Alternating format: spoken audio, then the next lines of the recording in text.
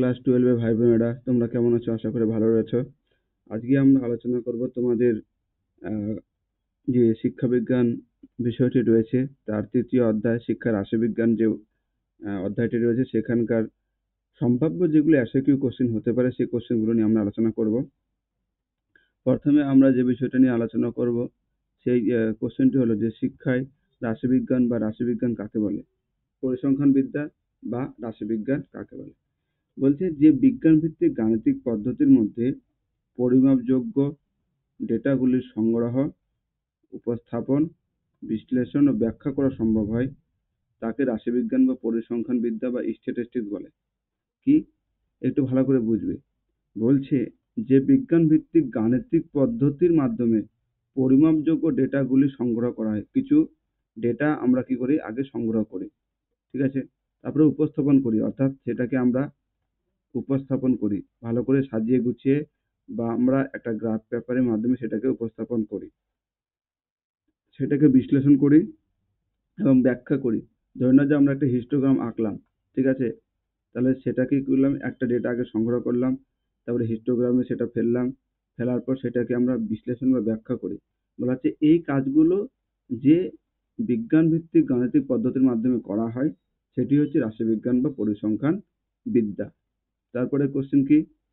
শিক্ষাগত রাশিবিজ্ঞান কাকে বলে?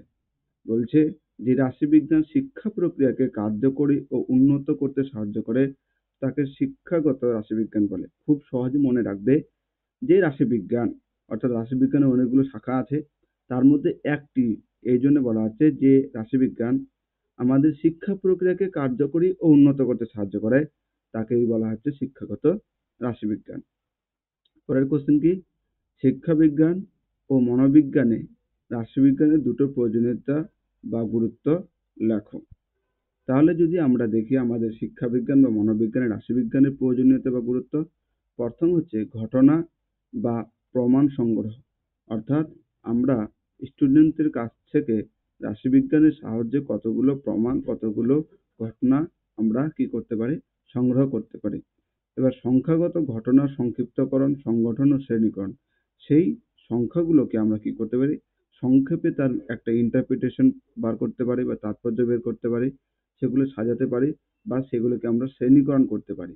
তারপরে কোনো বিষয়, ঘটনা ও প্রমাণের ভিত্তিতে সাধারণ সিদ্ধান্তে উপনীত হওয়া সম্ভব। এবং সেই যে আমরা স্কোরগুলো বা সংখ্যাগুলো আমরা আমরা সংগ্রহ করলাম, তার পরিপ্রেক্ষিতে আমরা একটা সিদ্ধান্তে উপনীত হতে পারি। এগুলো হচ্ছে কি? প্রয়োজনীয়তা বা গুরুত্ব। স্কোর কাকে বলে? ব্যক্তি বা বস্তুর কোনো ধর্ম বা বৈশিষ্ট্যকে যখন গাণিতিক প্রতীক দিয়ে প্রকাশ করা হয়, তখন তাকে স্কোর বলা হয়। যেমন, আমার বয়স আঠারো বছর, তেরো মাস, আঠারো দিন। স্কোর কি? আমরা যদি স্কোর খুব সহজভাবে বলি, তাহলে বলতে হবে যে, কোনো ব্যক্তি বা বস্তুর যে বৈশিষ্ট্য, সেই বৈশিষ্ট্যকে যখন আমরা কোনো একটা সংখ্যার মাধ্যমে প্রকাশ করি, তখন সেটা স্কোর। যেরকম ধরে নাও তোমাকে যদি কেউ জিজ্ঞাসা করে, তোমার বয়স কত? তুমি কি বলবা? যে আমার বয়স অনেকটা অনেকটা, অনেক বেশি। এরকম তুমি বলতে পারবে না। তোমাকে একটা নির্দিষ্ট সংখ্যা বলতে হবে। সেটা তোমার আঠারো হোক, পঁচিশ হোক, তিরিশ হোক, পঁয়ত্রিশ হোক।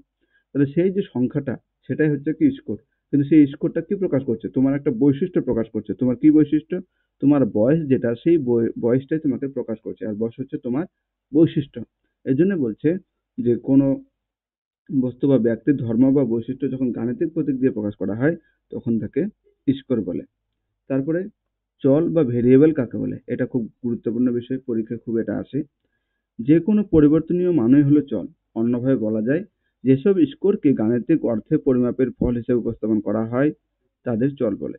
অর্থাৎ এটা তোমরা মনে রাখবে যে কোনো পরিবর্তনীয় মান হলো চল। যেমন তোমার বয়স, মানুষের সংখ্যা, প্রত্যেকটা হচ্ছে কি এক একটা চল। কারণ এই সংখ্যাগুলো সবসময় পরিবর্তনশীল। কিন্তু যদি আমি বলি যে আমাদের সূর্য একটাই, তাহলে সূর্য কিন্তু দ্বিতীয়টা নেই। তাহলে এটা হবে কি? চল হবে না, এটা হবে কনস্ট্যান্ট কিন্তু যদি আমি বলি মানুষের সংখ্যা, কোনো বয়স, কোনো কোনো কিছু সংখ্যা বলি, যেগুলো পরিবর্তনশীল, সেগুলো হবে চল বা ভেরিয়েবল বিচ্ছিন্ন চল কি? বিচ্ছিন্ন চল কি বলছে? যে চলের স্কেলে কোনো বিচ্ছিন্ন মানকে প্রকাশ করা হয়, তাকে বিচ্ছিন্ন চল বলা হয়। যেমন, বিভিন্ন শ্রেণির ছাত্র সংখ্যা। যে চলের স্কেলে কোনো বিচ্ছিন্ন মানকে প্রকাশ করা হয়। অর্থাৎ বিচ্ছিন্ন মানকে প্রকাশ করা হয়। ধরে নাও যে যদি বলা হয় যে তোমাদের বাড়িতে মানুষ সংখ্যা কত, তুমি বলবা যে সাত, না হলে আটজন না হলে তিনজন না হলে চারজন ঠিক আছে? বলতে পারো যে আমাদের বাড়ির লোক সংখ্যা তিনজন বা চারজন বা সাতজন বা আটজন তো তুমি কিন্তু বলতে পারবা না যে থ্রি পয়েন্ট ফাইভ আমাদের বাড়ির লোক সংখ্যা, অর্থাৎ সাড়ে তিনজন সাড়ে তিনজন হয় কি? মানুষের সংখ্যা সাড়ে তিনজন হবে না। হলে একজন বাড়বে, না হলে বাড়বে না। তাহলে এই যে মাঝখানে কিন্তু আমরা পয়েন্টে ভাগ করতে পারছি না, এটাই হচ্ছে কি কন্টিনিউয়াস ভেরিয়েবল বা বিচ্ছিন্ন চল। একটার সঙ্গে আর একটা বিচ্ছিন্ন, এর মাঝ বরাবর আমরা যুক্ত করতে পারি না, ঠিক আছে? অবিচ্ছিন্ন চল কি? অবিচ্ছিন্ন চল হচ্ছে এই বিচ্ছিন্ন চলের বিপরীত। অর্থাৎ যেগুলো আমরা পয়েন্টে পয়েন্টে এগোতে পারি, যে সংখ্যাগুলোকে আমরা কি করতে পারি? পয়েন্টে পয়েন্টে এগোতে পারি। বলছে যে চলের স্কেলে কোনো বিচ্ছিন্ন মানকে প্রকাশ করা হয় না বা যে চলের স্কেলে কোনো বিরাম বা ছেদ থাকে না, তাকে বিচ্ছিন্ন চল বলে। বিরাম বা ছেদ থাকে না। কি বলল? বিরাম বা ছেদ থাকে না। যেমন শিশুর দৈহিক বয়স, যদি বয়স যদি মানুষের বাড়ে, তাহলে কি বলে? একবারে কি এক বছর থেকে দু বছর হয়ে যায়? কি হয়? এক বছর, এক দিন। এক বছর, দুই দিন। এক বছর, তিন দিন। এরকম করে বারো মাস যায়, তারপরে দুই হয়। ঠিক আছে? তা মানসিক বয়স। ধরা যাক কোনো ক্লাসের ছাত্রীদের উচ্চতা। কারও পঁয়ত্রিশ, ধরে নাও কারও পঁয়ত্রিশ পয়েন্ট পাঁচ, কারও ছত্রিশ ছত্রিশ পয়েন্ট পাঁচ, তাহলে উচ্চতাটাকে পয়েন্ট ওয়ান করে বাঁধবে point one point two point three অর্থাৎ এটা আমরা একটার সঙ্গে আরেকটা বিচ্ছিন্ন করি না, আমরা একটা একটা করে দশমিক দশমিক এগিয়ে চলি। এই জন্য এটাকে বলা হচ্ছে অবিচ্ছিন্ন চল, অর্থাৎ আমরা একে বিচ্ছিন্ন করতে পারি না।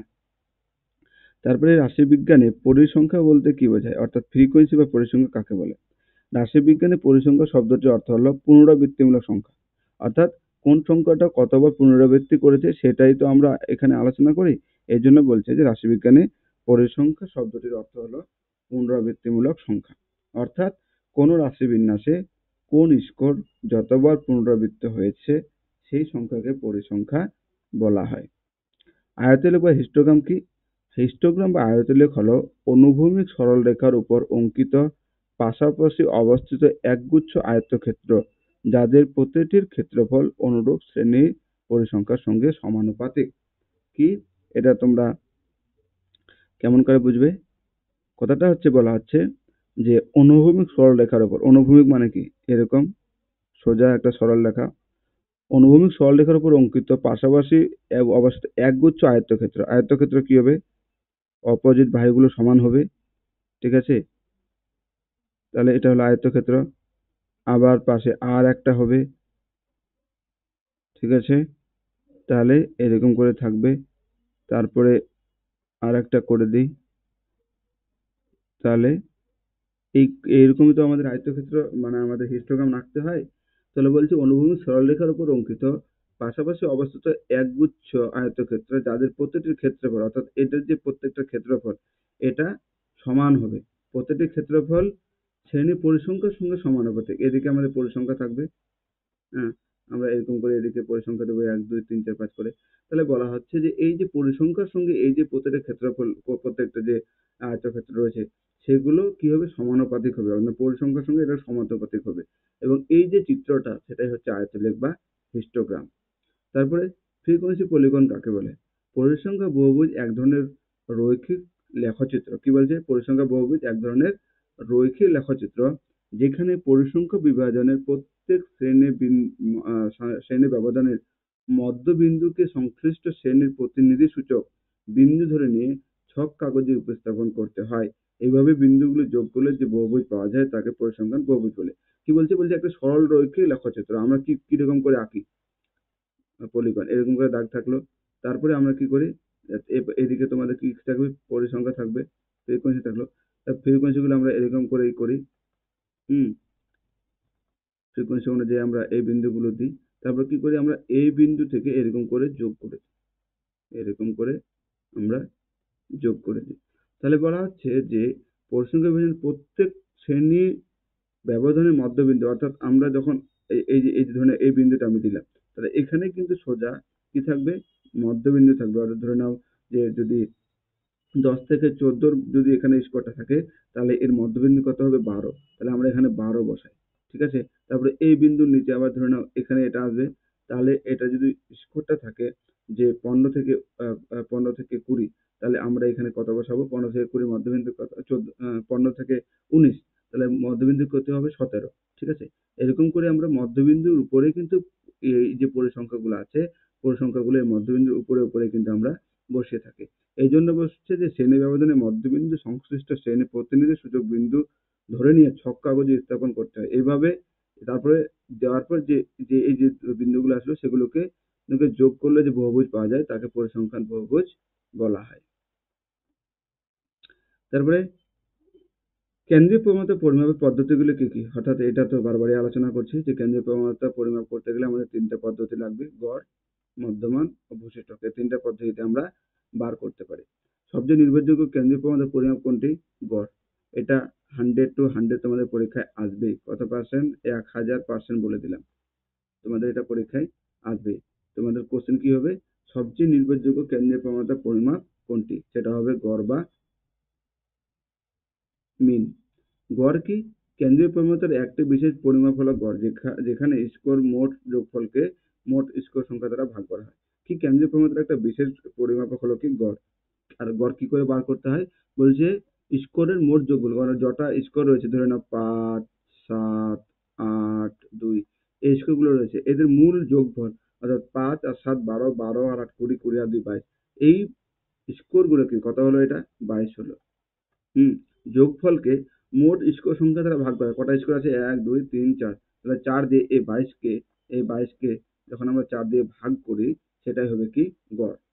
তারপরে চুক্তি কাকে বলে? প্রত্যেক স্কোর থেকে কল্পিত গড়ের বিয়োগ ফলকে চুক্তি বলা হয়। কি? প্রত্যেক স্কোর থেকে কল্পিত গড়ের বিয়োগফলকে চুক্তি বলে। অর্থাৎ ধরে নাও যে আমি আমি যদি এখানে তোমাদের দেখালাম যে বাইশ এবং চার চার দিয়ে যদি আমরা চার পাঁচে কুড়ি, হুম, চার পাঁচে কুড়ি চার পাঁচে কুড়ি, এটা ফাইভ পয়েন্ট ফাইভ এই যে গড়টা ফাইভ পয়েন্ট ফাইভ বার হলো, এই ফাইভ পয়েন্ট ফাইভ থেকে ফাইভের দূরত্ব ফাইভ পয়েন্ট ফাইভ থেকে সাতের দূরত্ব ফাইভ পয়েন্ট ফাইভ থেকে এইটের দূরত্ব ফাইভ পয়েন্ট ফাইভ থেকে টু এর দূরত্ব, এটাই হলো চুক্তি। এই জন্য বলা হচ্ছে প্রত্যেকটি স্কোর থেকে হ্যাঁ প্রত্যেকটি স্কোর থেকে কল্পিত গড়। অর্থাৎ আমরা গড় এটাকে ধরলাম, গড়ের বিয়োগফলকে এটাকে এটা বিয়োগ, এটা থেকে এটা বিয়োগ, এটা থেকে এটা বিয়োগ করলে যেটা পাওয়া যায় সেটা হচ্ছে চুক্তি বা ডেভিয়েশন তারপরে কি বলছে? তারপরে, হুম, তারপরে বলছে মোড কাকে বলে? বৈশিষ্ট্যকের মাধ্যমে রাশিমালার সাধারণ প্রবণতা বলা যায়। অর্থাৎ আমরা যদি কোনো একটা স্কোর গুচ্ছের যে সংখ্যাটা বারবার পুনরাবৃত্তি হয়েছে সেটা দেখেও কিন্তু আমরা কি বলতে পারি? আর বলতে পারি যে এর কেন্দ্রীয় প্রবণতা কতটা হতে পারে, ঠিক আছে?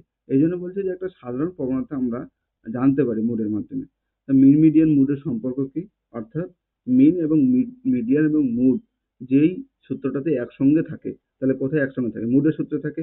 তাহলে mode is equal to three median minus two mean যদি আমরা মিডিয়ানকে তিন দিয়ে গুণ করি হ্যাঁ মিডিয়ানকে তিন দিয়ে গুণ করি এবং মিনকে দুই দিয়ে গুণ করি এবং তাদের বিয়োগফল করি, তাহলে আমাদের মুড বেরোবে। তাহলে এটাই হলো তাদের তিনজনকার মধ্যে সম্পর্ক। আশা করি তোমরা প্রত্যেকে বুঝতে পেরেছ। যদি কোনো বুঝতে না পারো, তাহলে ভিডিওটা আরও একবার দেখো বা আরও যদি কোনো রকম সমস্যা থাকে, তাহলে কমেন্ট সেকশনে অবশ্যই জানাবে। এবং এই ভিডিওটার যে তোমরা পড়ালাম, এই পিডিএফটা তোমরা পেতে চাও, তাহলে ডেসক্রিপশনে অবশ্যই হোয়াটসঅ্যাপ গ্রুপ বা টেলিগ্রাম গ্রুপে তোমরা জয়েন হয়ে এই নোটটা তোমরা ডাউনলোড করতে পারবে। সবাইকে পুরো ভিডিওটা ধৈর্যের সঙ্গে দেখার জন্য ধন্যবাদ।